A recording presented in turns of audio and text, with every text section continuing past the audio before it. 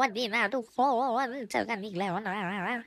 วันนี้เราจะมารีวิวเครื่องทำน้ำแข็งกันของมันต้องมีแล้วปะยุคนี้เขาเน้นความสะดวกสบายต้องมาก่อนนะไม่ต้องกลัวว่าจะทำไม่เป็นนะทุกคนคือมันทำง่ายมากคือแบบเปิดฝาขึ้น เอาน้ำใส่นะคะทุกคนเอาที่รองน้ำแข็งมาใส่แล้วก็เอาปิดฝากดปุ่ม เปิดจากนั้นก็รอประมาณจ็ดถึงแปดนาทีเราก็จะได้น้ำแข็งกันเราก็รอกันเลยนี่เราได้น้ำแข็งชุดแรกออกมาแล้วน้องออกมาแล้วนะทุกคนน้องน่ารักมากประมาณรอบหนึ่งก็จะประมาณเจ็ดแปดก้อนได้นะคะทุกคนทำวนไปนะคะสะอาดทุกหลักอนามัยด้วยแหละอะพอเราได้นะคะ ความหิวก็ต้องมาต้องชื่นใจแล้วแหละตักใส่แก้วนะคะค่อยๆตักเส